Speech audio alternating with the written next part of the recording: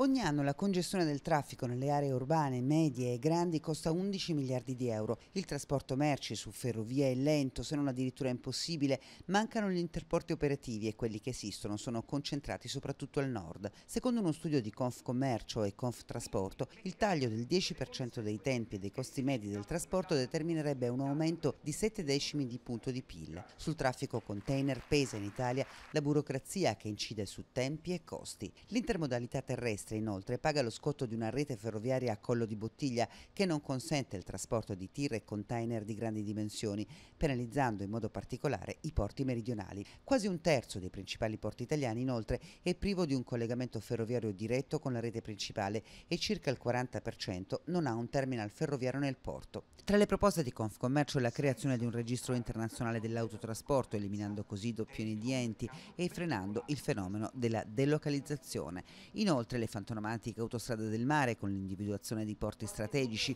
o l'apertura di notte dell'alta velocità al trasporto merci attraverso la metropolitana italiana delle merci sulla direttrice nord-sud. Ed ancora, secondo Confcommercio, bisognerebbe utilizzare il servizio intermodale integrato gomma, mare, ferro che potrebbe ottimizzare l'efficienza della catena logistica riducendo la congestione della rete stradale. Infine l'avvio di una strategia nazionale in favore dell'accessibilità e della mobilità urbana che migliori l'efficienza e l'efficacia degli spostamenti.